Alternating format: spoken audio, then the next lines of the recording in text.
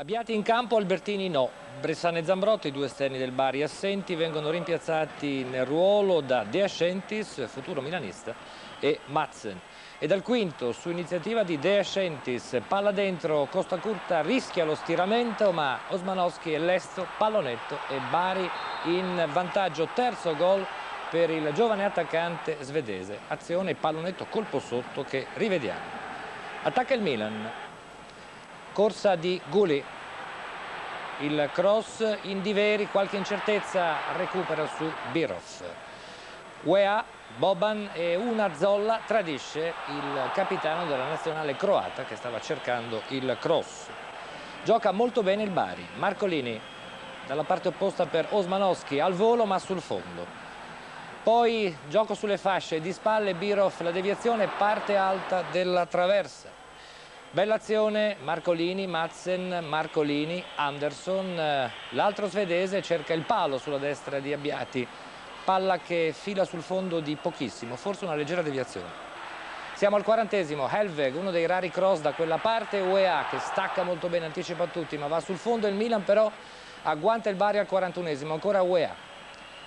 Guli, palla sul destro, dentro a cercare Boban, in qualche modo respinge Indiveri e Birov anticipa anche George Weah ed è il gol dell'1-1, undicesima rete per il cannoniere tedesco. Con il montaggio di Alfonso Lodato, eccoci nella ripresa, Giorgetti per De Rosa e Necruz va a fare il libero. Secondo minuto, Sala, Birov, Leonardo, un'occhiata a destra per Elveg, palla al centro, numero di Boban che col petto da Birov, diagonale ma sul fondo.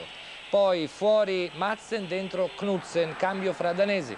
Attacca ancora il Milan, UEA pallonetto ma respinge il faccione di Indiveri, come vediamo da questo replay. Ancora Boban, UEA cerca la soluzione da fuori area.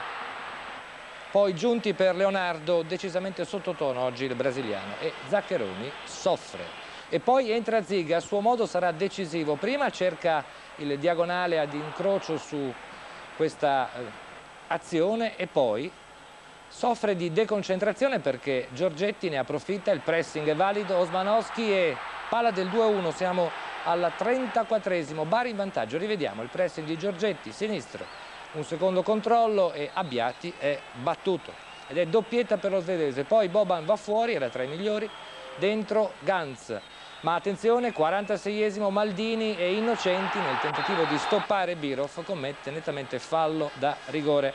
E Pellegrino non ha esitazioni va Ganz dal dischetto 2 a 2 freddissimo l'ex giocatore dell'Inter. Quinto minuto di recupero. UEA per Birov Ganz segna ma in netta posizione di fuorigioco. Insomma Fascetti ha detto di aver visto il Bari del girone d'andata un punto in trasferta dopo due mesi e mezzo. Per due volte in vantaggio